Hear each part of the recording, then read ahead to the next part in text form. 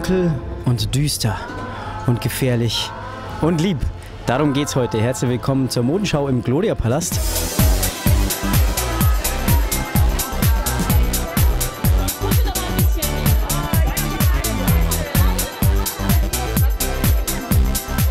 Ich hätte gern dieses Outfit gehabt, muss ich sagen.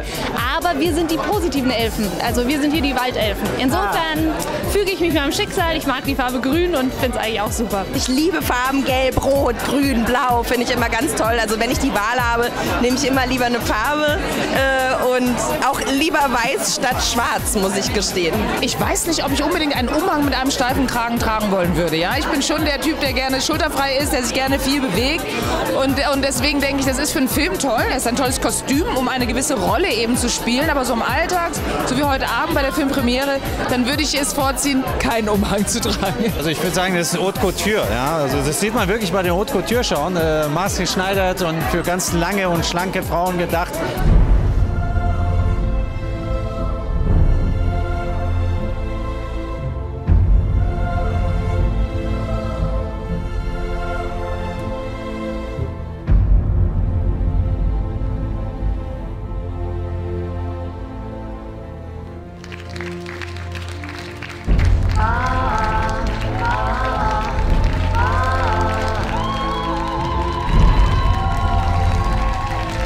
Tendenziell ist das, wenn es ganz eng und streng ist und, und eher so Lack und Leder, ja, dann, dann, weiß man, dann weiß man, das ist eher so diese böse Schublade. Also ich habe auch ein paar schwarze Ledersachen, also wenn es mal ein bisschen schmutzig sein soll.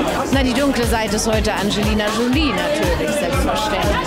Repräsentieren das Gute. Das Böse verstecken die Frauen sehr gerne, auch wie beim äh, dem äh, Wolf im Sharspace, das ist wirklich so. Aber ähm, hin und wieder kommt das Böse auch zum Vorschein.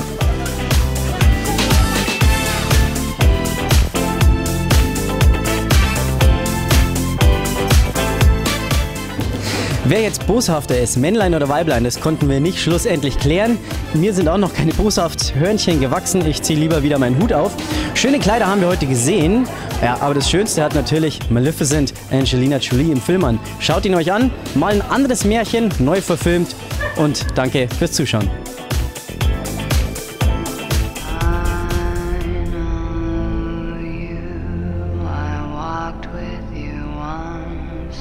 upon